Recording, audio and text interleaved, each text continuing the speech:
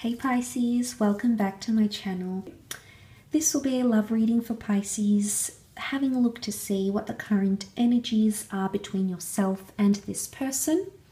There will be an extended which will explore more about them, okay, how they're feeling, what they're wanting, how they're perceiving the current situation between the both of you. So the link to the extended is below in the show more section. Guys, thank you so much for your likes, shares, subscribes, donations. It really does mean a lot, Pisces, okay. Had four cards. Is that four? Yes. And we'll get another two.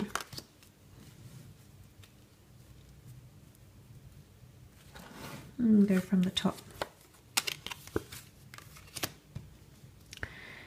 Okay, Pisces, you may be guarded about a situation, possibly not, uh, maybe a little bit skeptical about what someone is offering you, but you're about to literally walk into happiness here. You're coming into a very good stage in your relationships here because you are the cups. Now, it can be with the Cancer because you have the moon, uh, but the Eight of Cups, I believe, is you, and you're walking to the Ten of Cups. So this is a good transition. Possibly a reconciliation on the cards for some of you, okay, with the past, a past lover, a past flame, especially if you've had children together. Maybe you were hoping to build a family, you were once engaged, or just in a beautiful long term relationship that maybe went separate ways. Uh, it's almost like someone may return to you or you may return to them. Okay, so that may happen. And the Ten of Cups, this is a beautiful promise of happily ever afters here. So for some of you, this is, you've got a beautiful outcome here, but unfortunately, you'll have to go through all these other stages to get to that Ten of Cups. Uh, look, it could be that at times you feel like you have someone here that can really bring you your happiness, you could really see a future with, can picture yourselves doing a lot of things. And you're moving towards that. You may have to take time away, and it's this time away that's really going to highlight and emphasize the kind of future you want with this person.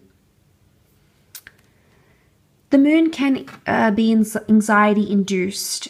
Pisces, some of you may be leaving or you feel like something is missing here. But is it anxiety that's fueling you? Because that's also present. The Nine of Wands tries to protect himself but you seem so stubborn, uh, like so set on something. The King of Swords is is not interchangeable. Um, he's very much committed to what he believes in, to his values. So it's almost like you've got something in your mind here, Pisces, and I don't know if this is you leaving or taking time away mentally or emotionally, but that this idea could spark this chain of events, but it could also lead you to this somehow.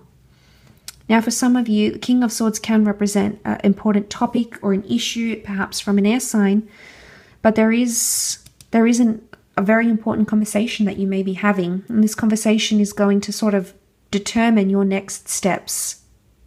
It's a very fruitful, uh, very telling conversation, I think. You've got the Empress here. She represents things like fertility, growth, planting a seed, evolution, can also be cycles, cycles of the harvest here, and then we've got the spheres, which could symbolize cycles here, Pisces. But look, the Empress is a very Venus like energy to me. Often she does represent those things like fertility, so I don't know if some of you might be welcoming in a child with your special person, maybe adopting or um, even fitting into the role of a family member somehow, uh, but that could be very beautiful. Uh, Pisces, you might be introducing your special person to someone very special to you, like your family and friends, etc.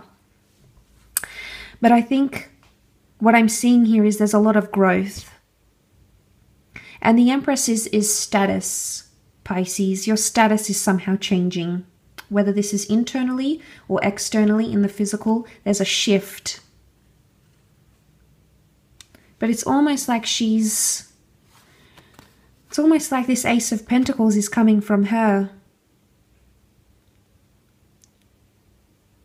Granting you a blessing in your relationship, but the Nine of Wands, you're skeptical about it. You're fearful. You're unsure. Look, sometimes the aces can represent major milestones in love, moving in together, saying I love you, remarriage, talking about having children, moving in together, you know, whatever it is. Wherever you're at in your situation, you may be feeling unsure about it. And maybe you need to have a, conversation. I think you may need to express your concerns, Pisces, because if you're having them, they do need to be expressed. I think deep down, you are visualizing the Ten of Cups. But look at the contrast of what's happening in these cards. You know, we see the darkness, the cloudiness, it's a very somber. You know, we see the moon here, and he's stacked up his his cups on this quiet little beach. Yet there's something missing. Pisces, maybe you feel like you've come so far with something and you've built it up. Boy, have you built it up. But maybe it's just not quite there yet. For some, it might not be because you, you're missing the nine here. Technically, the nine is, you're missing the nine of cups, but the nine that we do see is this nine. So we go eight, nine, ten. I'm wondering what this is in between that's blocking you from this. Not allowing you to move forward. You'll know the reasons why, Pisces, but Again, the notion of lack. Your wishes maybe are not fulfilled. You know, the Nine of Cups is the dream card, the wish card. Maybe someone is lacking something here. And I don't see it's much to do with anger or anything. I think you're coming from a very mature place. The moon can also be things like intuition. So maybe intuitively, you're at a very peaceful place with yourself and just asking yourself the big questions. You're posing yourself the big questions. But the nine can this person make your wishes come true? Your wishes in love, your wishes in the kind of relationship you want to have, how you'd like to be towards each other. Can they make that happen for you? Maybe you have to communicate it if you haven't already, if you haven't said that. Communication could be great. The King of Swords is very engaged.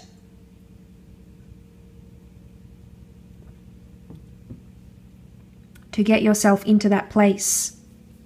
Improvement in communication is also very possible. Uh, sometimes the King of Swords can be seen like he's instructing Pisces, so you may have to instruct someone here, maybe even teach them, okay? Maybe teach them a thing or two of how you want things done or what you're all about or what truly matters to you, Pisces. Because it's almost like he's holding the sword and it's not in a manipulative way, but it's just in a informative way. Or it could be that you're coming into an energy where someone has instructed you about what they want as the next step, and maybe you're fearful. But these characters both look away to the King of Swords. Maybe you feel like you have already communicated something and this person has turned their back on it Maybe they haven't responded, not in the way you would have liked them to, perhaps. Maybe they've turned turned away on the communication, changed the subject. Uh, but ultimately, I think there there will be a possibility to improve on this because there you are, hand in hand with each other, arm in arm, I should say, closeness, and the rainbow comes out after the storm. So, I guess this is just a little bit of hope here for you, Pisces, between you and the one who loves you. So, we'll see how that plays out, but I'll continue now with your extended. The link will be available below. If you are after a private reading with me, please feel free to be in touch.